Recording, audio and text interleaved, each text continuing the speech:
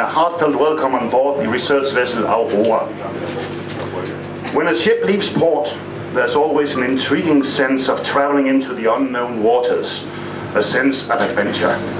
When the candidates announced their candidacies months ago, the course was set, an almost classical race between two establishment favorites, a Clinton against a Bush. Needless to say, the course of that ship has changed many times, and today we are in the midst of an election that nobody anticipated.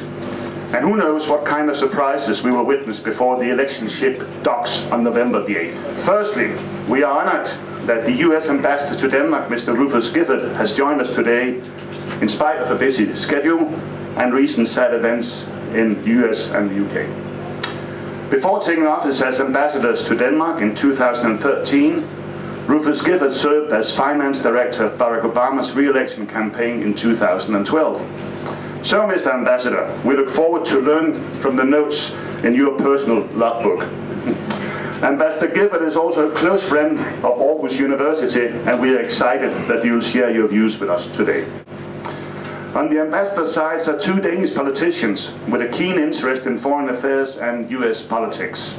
Mr. Nicolai Wammen is a member of the parliament for the Social Democratic Party and its spokesman on political affairs. He has previously served as Minister of Defense and not least as mayor of my hometown, Aarhus.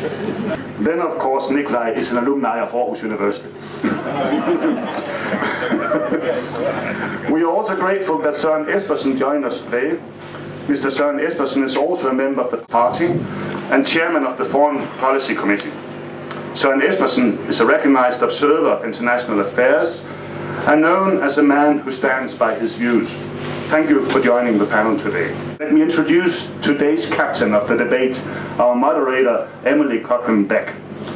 Emily is one of our talented assistant professors at the Department of Political Science and Emily will make sure that we stay on the right course. As her name suggests, Emily has a US background, and with these words, I kindly ask Emily to take the floor, or should I say, the deck. on behalf of Aarhus University, I welcome you all, and I wish you all a great debate. Thank you anti-establishment, polarized uh, debate, uh, the, the, narrative, that's where it is. So the Trump, the, the Trump phenomenon. We've seen weird days, and I want to remind you about that. Also, what was that I, the Donald Trump wild things he did in the beginning.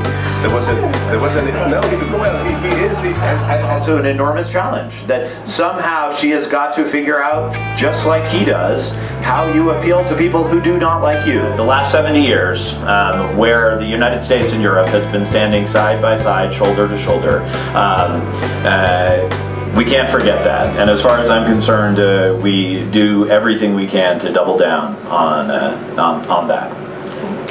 Thank you all for coming. Thank you.